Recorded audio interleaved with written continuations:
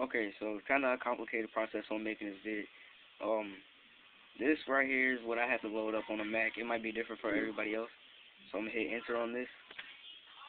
And that goes, goes up. That's y'all talking to me. And on my PSP, I'm going to go down to this. My memory card, yes, I'm using that theme. Go to this program right here. Plug in USB. Okay. Now, when I do this, it's going to load up a game. Or I can pick. Yeah, you see I got all this stuff. All the games that I have on here, I can just load them up. Not that many like I used to have. But there's a couple of them. Let me show you Motorstorm because I really love this game then it's going to load up. Thing is, I have to be stayed plugged into this USB. I don't know if you can see it, but yeah. So it's loading, loading, loading, loading, loading.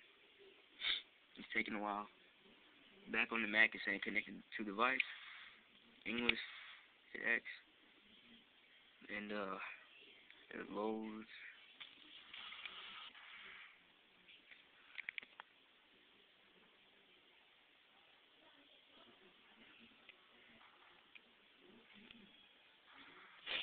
And yes, this game does have really good graphics. And online.